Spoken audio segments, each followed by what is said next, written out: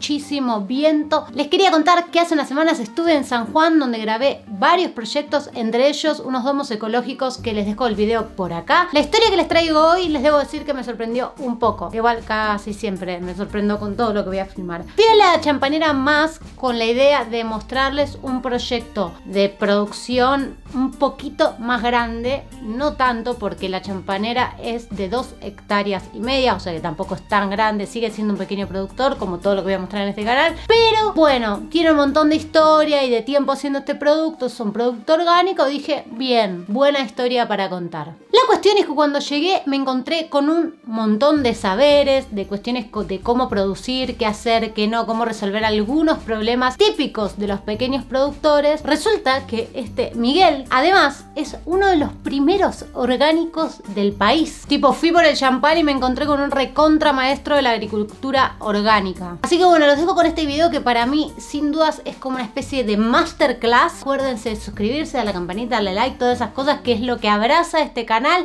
Espero que lo disfruten a ver cómo se elabora el espumante por el método Champenois. El método Champenois es el método que usaba Don Periñón hace 450 años en la zona de, la Champaña, Francia. Realmente eh, el espumante surge por un problema del vino. Don Periñón tenía 19 años, era muy estudioso de las uvas y de los cepajes. Los productores de, de uvas y vinos de la zona lo llamaron para que le solucionara un problema. El problema es que no podían producir buenos vinos ¿Por qué no producían buenos vinos? Porque les quedaba con gas el vino. Entonces eh, les explicaban el proceso y dicen, mira, nosotros hacemos el vino, cuando llega, termina el invierno, le ponemos un tapón, o sea, no, se filtraban prácticamente los vinos ahí, se, se, decantaban. Lo ponemos en la cava, lo guardamos, y cuando llega la primavera se empieza a generar un gas. Estamos hablando de una época que todavía este, Pasteur no existía, no sabíamos qué, lo que era la fermentación. Entonces se genera, se genera gas y saltan los tapones y perdemos el producto. Además, el vino tiene gas, decían los tipos, tiene gas. Y los vinos quedaban con azúcar. Como eran decantados, siempre habían levaduras presentes, no estaba filtrado. Cuando llegaba el calorcito de la primavera, ese azúcar con los microorganismos que quedaban, producían la fermentación y producían, se desdoblaban en, en alcohol y anhídrido carbónico. Ese anhídrido carbónico era el gas. Entonces era un vino con defecto. Pero empezó a probar esos vinos y eran muy agradables. la burbujita no está mal. Realmente el espumante es el descubrimiento más grande que ha tenido la industria del vino en toda su historia.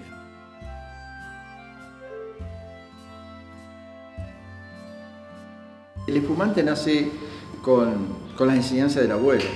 Hacía 10, 12 botellas anuales porque las tomaba en familia y para el fin de año. Él hacía sus pocas botellitas y nos enseñaba cómo hacerlas.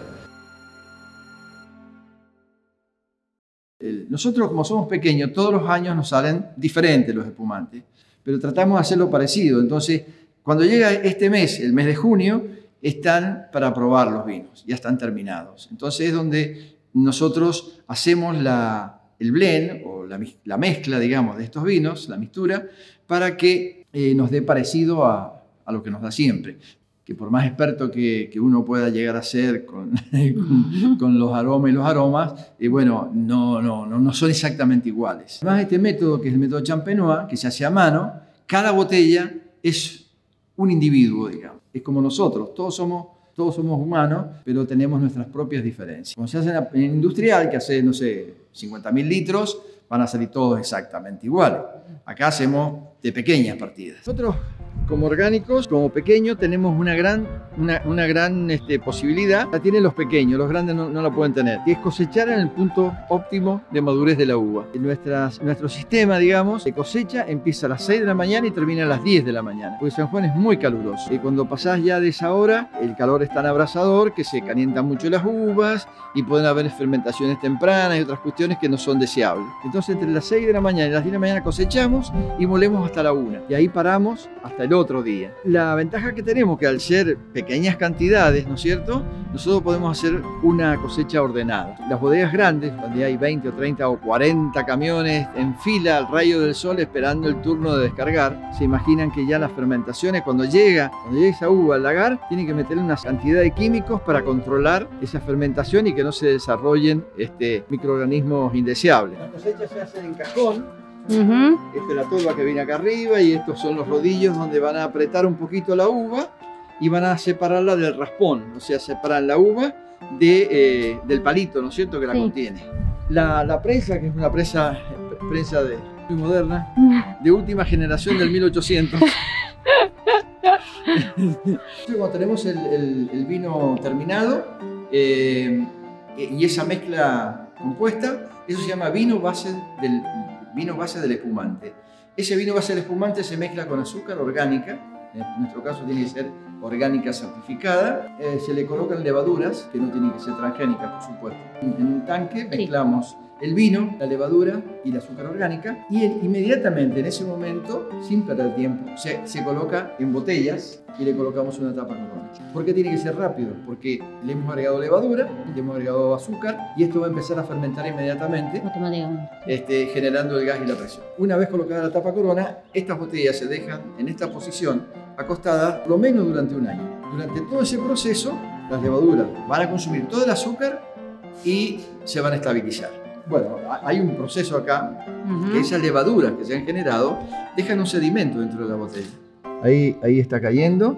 Es un sedimento muy fino. Sí. Son levaduras muertas. ¿eh? Trabaja, deja este sedimento. Un sedimento muy fino. Esto por estética hay que sacarlo. Pero no pasa nada si te lo tomás eso. no, no pasa nada. De Ah. hecho, este, hay un champán que se hace en la zona del champán, se llama Petit eh, Naturel, que lo hacen así y le ponen, lo toman con la tapa corona. Eh, esto se está recuperando porque sí, eran de los, de los viejos de antes, ¿no es cierto? Es el verdadero sabor del espumante y lo toman así, con, con- con el sedimento. sedimento. O sea, lo dejan, eh, lo sirven despacito para que no tenga tanto sedimento. No se puede filtrar botella por botella, porque obviamente sería algo muy, muy lerdo y perderíamos el gas que hemos generado. Entonces, esta estructura, que viene de aquellas épocas, eh, fue diseñada por el maestro de cava de Madame Clicquot, una francesa que se hizo cargo de su champañera.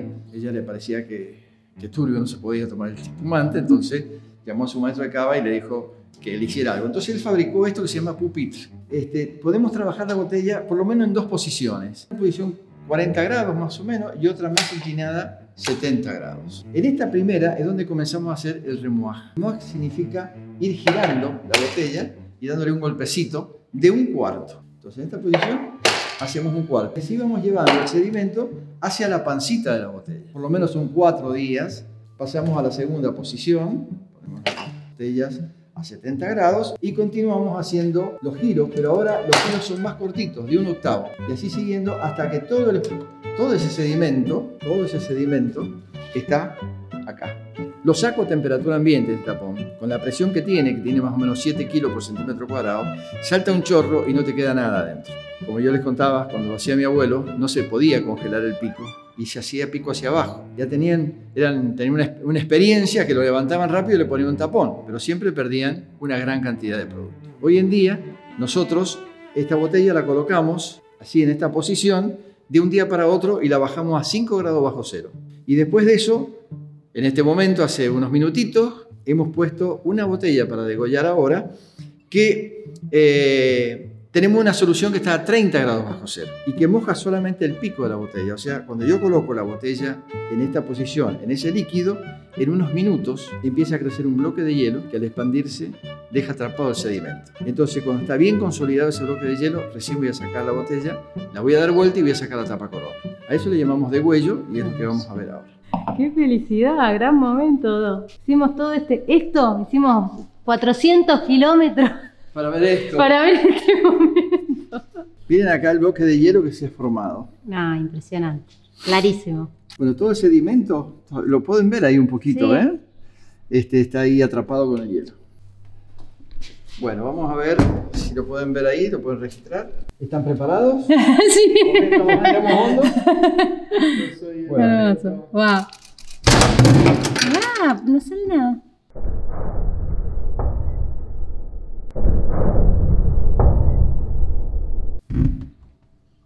Impecable. muy rápido, ¿no? La- la botella. ¿Cómo estará de frío que el agua está caliente? Bueno, este ha llegado el momento más importante, que es el tema de la degustación.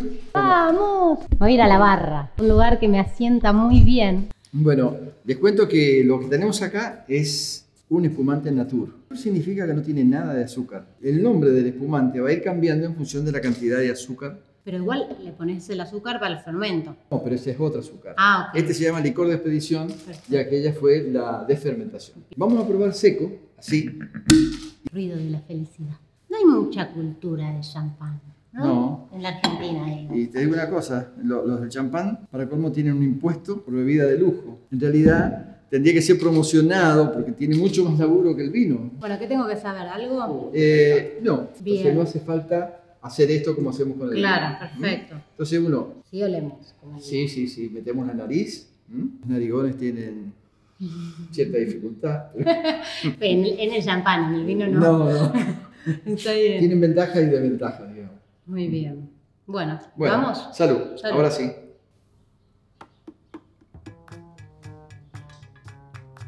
Riquísimo. Yo quiero hacer una pregunta que la, verdad la voy a dejar para después. Porque la pregunta era ¿por qué pega tanto el champán? Porque es como eso que dicen, "No, lo que te mata es la burbuja. No es, no es verdad, No es verdad que te ponen peda más la cantidad. No, yo soy una es muy rico, entonces vos tomás de más.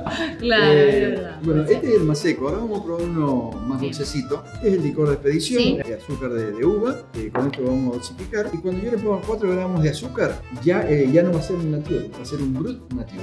Vamos a transformarlo para poder ¿Acá probar. mismo? O sea, en la mismo vaso, ¿no? En no, la no, misma no, no, botella. en la botella tiene que ser. Bien. Ah, es un jarabe. Es un jarabe. Una claro. jalea, sí. Vamos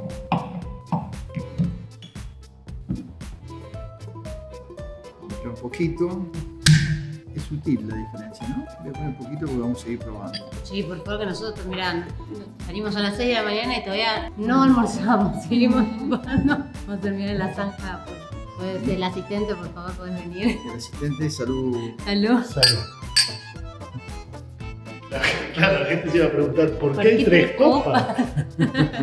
Es más, pero muy poquito.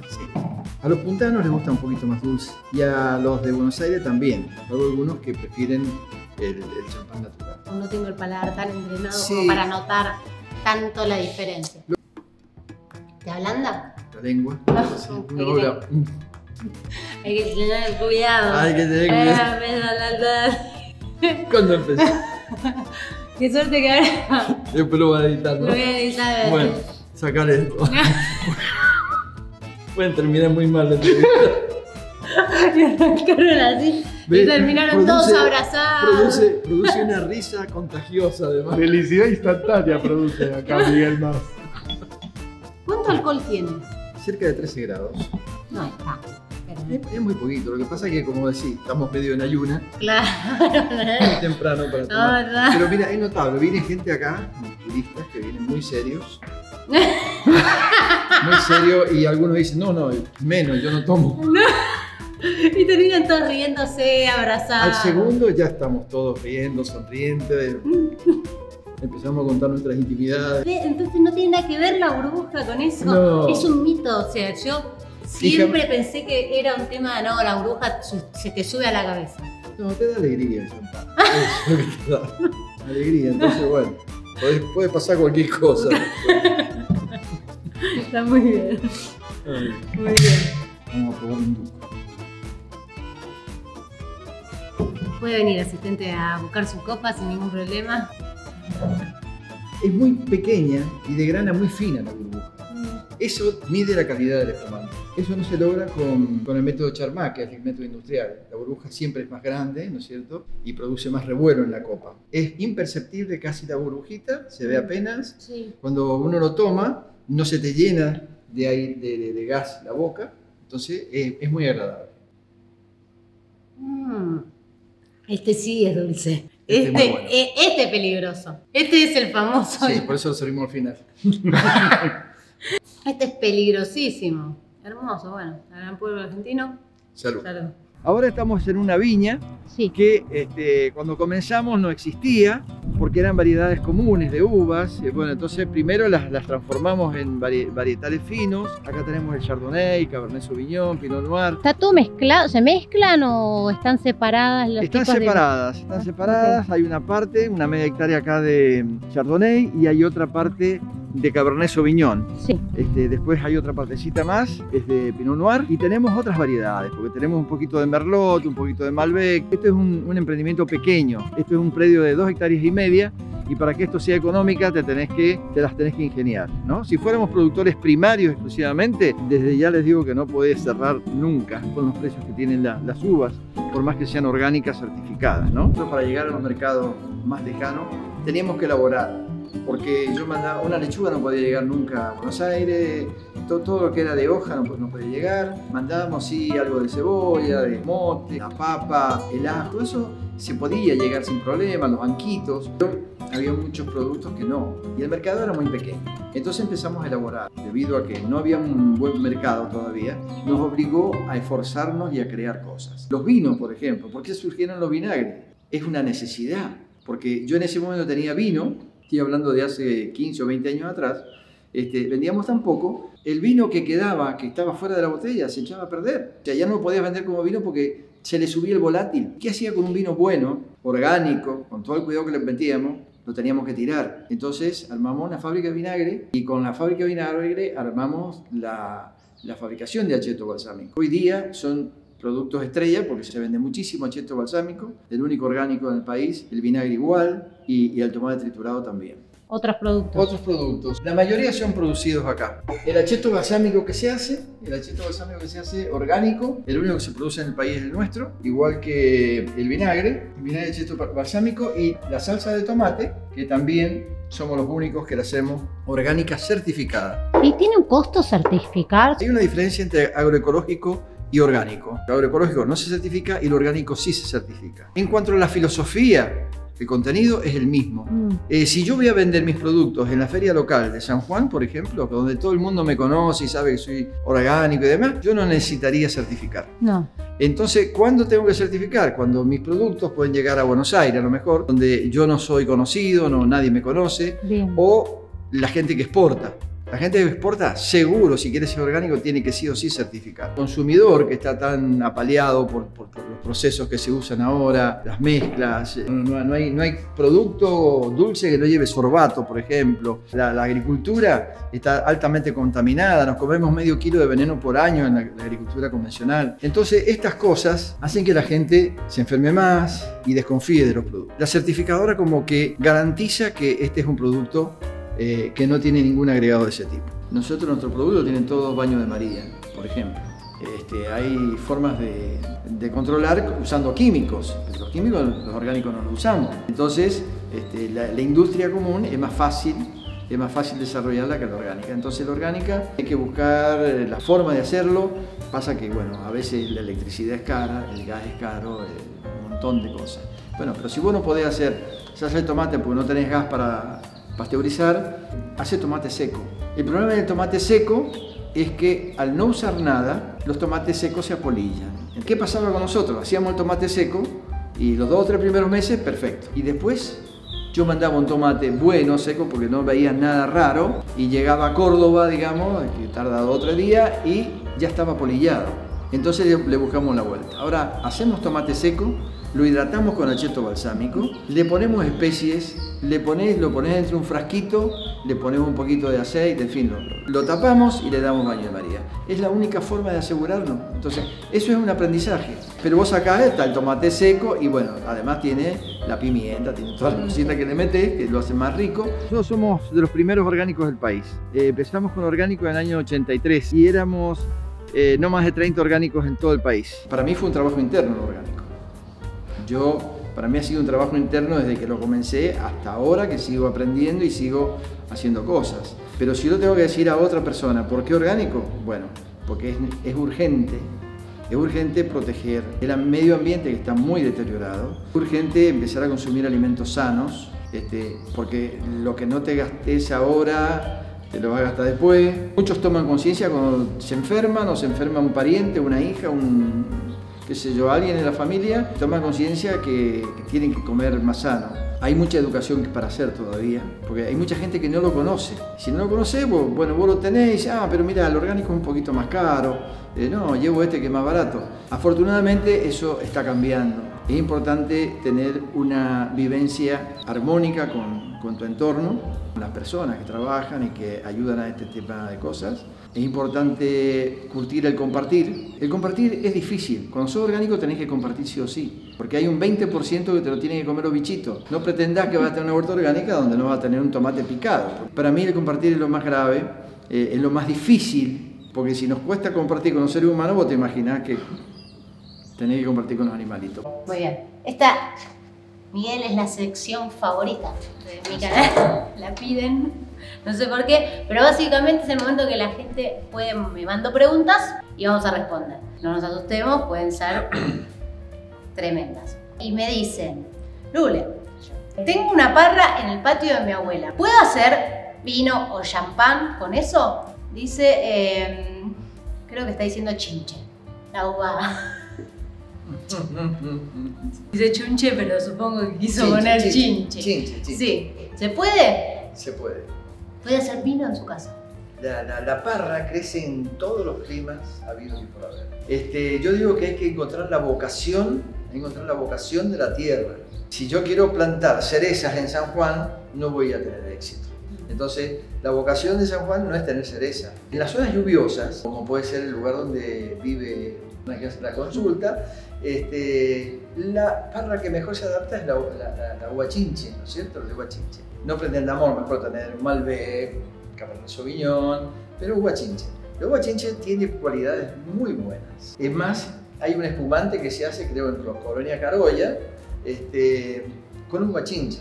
Y, y larga unos aromas y unas cuestiones espectaculares. Es una uva rosada, entonces da un vino rosado. Entonces sí podría hacerlo. Eh, no sé qué producción tiene la parra, pero este, un vinito va a ser. Y ese vino lo puede transformar en espumante de acuerdo a lo que hemos explicado. Mejor le sale una botella, dos, cinco, o Suficiente para Navidad. lo, lo que sea. Espectacular. Che, ¿se puede tomar con el champán con hielito? ¿Me lo aceptan? No, eso no. No lo puedo aceptar. No. Tachado. Mira, bueno. eh, el champán es una bebida, es una bebida, es un vino. Todos los vinos deberían tomarse tal cual. Acá en San Juan está mucha gente, se sirve un poquito de vino, un hielito, inclusive le pone soda. Contra los gustos no hay nada escrito, así que si te gusta con... Lo que pasa que eh, vas a naturalizar ciertas cosas. La gracia del espumante son los aromas y sabores naturales que tienen estas uvas que usamos. Lo vas a diluir, a lo mejor lo enfrías demasiado. El champán habría que tomarlo a 4 grados. Y por supuesto, el hielo también va a hacer que se desprendan muchas burbujas. Pongan un granito de arroz en la copa y van a ver que todas las, las burbujas salen de ese granito de arroz. Eh, si, si metes un hielo, obviamente que se desvirtúa también el tema del champán. Yo digo que, bueno, el vino, si estás acostumbrado a tomar vino con hielo, bueno, tomalo. El champán, No. no. Bueno, no. Dijeron que no. Listo, estamos con un especialista, vamos a hacerle caso. Lule, ¿con qué, ¿con qué se marida un buen champán? No me digas pizza que me desuscribo. Mala propaganda nos dejó un Nos arruinó, nos arruinó porque la pizza nos encanta, pero bueno, ¿qué es, ¿cuál es la comida con la que se marida el champán? Hay que entender que el maridaje es un casamiento, es una unión. Si vos tenés una unión donde tenés una parte muy fuerte y la otra muy débil, no es unión. Hay un sometimiento ahí. Algo somete al otro. La vida misma. La vida misma, exacto. Esto es como la vida misma. Entonces, tenés que buscar una armonía entre las dos cosas. En, en nuestro caso, nosotros tratamos de hacer una comida eh, delicada, ¿no es cierto? Eh, porque el espumante te dan aromas delicados. Eh, se puede tomar, por supuesto, con, con un asado se puede tomar espumante, no hay problema. Y tienen que acompañar eso que te digo yo, los aromas con los sabores. Eh, si es difícil gestionar eh, la certificación orgánica. Sí, este, bueno, no, no, no es difícil, pero sí lleva tiempo. Pero se puede. No, nosotros lo estamos haciendo. Perfecto. Eh, nos cuesta un- una barbaridad, pero lo hacemos. Que lo hacemos igual, como todo. Nosotros a, nuestro, a la gente que nos, nos este, compra, nos gusta llamarle coproductores. Me encanta. Todo bien. Terminamos de hacer todo esto del videito y nos convertimos en En coproductores. Porque, coproductores, porque sin esas personas nosotros no sobrevivimos. Entonces ellos son coproductores. Me encanta. Bueno, última pregunta es, eh, ¿cuál es tu champán preferidos. Hay una gran gama de espumantes, ¿no es cierto? Nosotros tenemos CO7. Para un aperitivo, este, yo prefiero el seco. Y después para los postres me gusta mucho el Duc, que es, es un clásico que le gusta a casi todo el mundo. Entra muy rápido. y- Ya lo vimos. Nos llena de alegría más rápidamente. Me encanta. Voy a dedicar a Bueno, hacer y de los vinos, los vinos, bueno, yo tomo eh, blanco, el Chardonnay, y me gusta mucho de todos los vinos que, que hay en el mercado, eh, yo soy mucho del Cabernet Sauvignon. Bueno, listo. Estamos, redondeamos. Bueno. Lo logramos. Buenísimo, gracias. ¿Cómo poner este tapón? Este en ese tapón es muy- En ese pedacito de. Muy especial de tapón. Hace con una máquina, Con una máquina. una claro. máquina que comprime el corcho, lo, lo, lo comprime y un pistón lo empuja y lo, lo mete un milímetro acá. Y después, cuando colocamos el bozal, eh, se forma el honguito típico que tiene arriba, ¿no es cierto? Porque aplastás y se mete un milímetro más. Muy importante que voy a decir en este momento a la gente que mira que hay que tener mucho cuidado cuando se tapan estas bebidas para preservar todas Claro. las partes. Hay una forma de taparlo, ¿no es cierto? Porque La técnica, queremos saber la técnica correcta de este, tapar. a nosotros nos gusta mucho a veces que salte el tapón que pegue entre y que le caiga, ¿Quién se casa? y que le caiga en la cabeza a alguien que, que esté muy necesitado de De casamiento. casarse, te empujas ya que, que el tío está. Bueno, este, pero en realidad, así, con esta, ma- con esta mano, Mm. y se gira despacito con la mano izquierda. Ah, lo que se gira es la botella. Claro, se gira la Ah. botella, no, no el tapón, porque todo el mundo quiere sacarlo acá. ¿no? Claro. Es mucho más fácil girar la botella. ¿Has de decir un dato? o sea, jamás giré, jamás giré el- la botella. Porque es toda la fuerza bruta acá. Imposible, ¿no? No, Claro, hay que claro. girar la botella. Sí, cuesta más. Y bueno, y así con el bozal y todo eh, colocado, cuando vos lo girás, lo vas sacando despacito para que no proyecte y no te pegue en un ojo. o te- Perfecto. ¿Mm? Bien, Hay que- datos, hay que datos importantes. esa- ese, ese dato es importante, hay que controlar la ansiedad. Hay que controlar la ansiedad. Todos los vinos y espumantes hay que leer las, las etiquetas, ¿no es cierto? Sí. En este caso, acá está identificado qué tipo de, de espumante es, bueno, va a estar la marca, etc. El método, método Champenois. En el reverso tenemos los sellos obligatorios que tienen que llevar. Vino, bebida nacional, sello orgánico argentino. Y este es el sello de la certificadora que acredita que esto es orgánico y que hace los controles, las inspecciones, todo. ¿no? El sello, porque nosotros somos Huerta Orgánica Najata. Este, y dentro de Huerta Orgánica Najata tenemos nuestro sellito de la champañera. Este, acá estamos en la cava. Cava exclusivamente de espumantes. Las botellas están estivadas acá, están entre 1 y 3 años. Después, cuando terminó acá, va a pasar a los pupitres. Y en los pupitres vamos a ir haciendo el remoaje y después lo dejamos 30 días más, pico hacia abajo, 30 días más. Ya están listos para ir al freezer, donde en un día bajamos a 5 grados bajo cero y después en unos minutos los bajamos a, a congelamiento del pico. Las botellas que pueden venir falladas revientan acá. ¿Cuál es la superficie que tiene mayor, mayor exposición? La culata de la botella. Entonces, las botellas normalmente se desculan así, porque 7 kilos por centímetro cuadrado. El, el área mayor está Puede pasar. Puede pasar. sí. En la época de Periñón, que no había tanto control en el agregado de, de- de las azúcares y demás, 100 botellas reventaban 90. No tenían los elementos de medida adecuados. Eh, además, en aquella época las botellas eran sopladas. Por eso son maíz más grueso abajo Claro, sí. Es Y más- esta forma así eh, Eh, hundida bueno, que eh, tienen. Esto, además de darle, de darle este, resistencia, ¿no es cierto?, Ujú. del vidrio, nos conviene para poder servirlo. Por eso metemos el dedo gordo, digamos, Claro. en, en el huequito y eso se llama picada. ¿Cuántas botellas más o menos producen por año? Y ¿Y, ha- haremos unas 8.000 botellas anuales. cuánto está este que está tomando usted ahora? Una botella del que está tomando ahora. Y son champán que varían entre 850 y 950 pesos. Muy bien, muy bien. Ya sabemos que va a haber en el baúl. Entonces el que se va al campo, por más que tenga algún recurso económico, ¿no es cierto? Tiene que entender que eh, no es fácil, que es duro, pero es satisfactorio. Te da una paz, te da una, eh, una condición eh, que, que es muy buena. Ahora, si vos sos orgánico, filosóficamente orgánico, no dejas nunca lo orgánico. Nunca. Ahora, si vos estás metido por el dinero, y bueno, no. No, no- no es tan rentable. Menos para un pequeño productor. Esto es muy importante en lo orgánico, tener una tierra esponjosa. Estos ter- terrenos son areno, este, eh, digamos que son, tiene una permeabilidad bastante buena, a pesar de que estamos en una, en una parte distal de lo que fue un lago antiguo acá, ¿no? Yo cuando era niño, este, que hace mucho tiempo de eso, pero, este, pero todo acá era carrizal, todo era en carrizo, si no hacías, eh, digamos, sangrías no se podía cultivar nada. Por eso es una tierra negra. Esta es una tierra negra con un pH bastante bajo, porque tiene es rica en ácidos húmicos eh, y crece, crece todo, es espectacular. Cuando vos tirabas una semilla, era exuberante todo lo que, lo que crecía, ¿no? Claro. Así que, bueno, Eso ya no. Es así. No, ahora ya bajó mucho el agua, se están construyendo un montón de diques y, Claro. y eso hace que eh, no tengamos el flujo de agua que teníamos antes. Supuesto. Yo jamás he pensado en cerrar lo orgánico, aunque he perdido cientos de veces.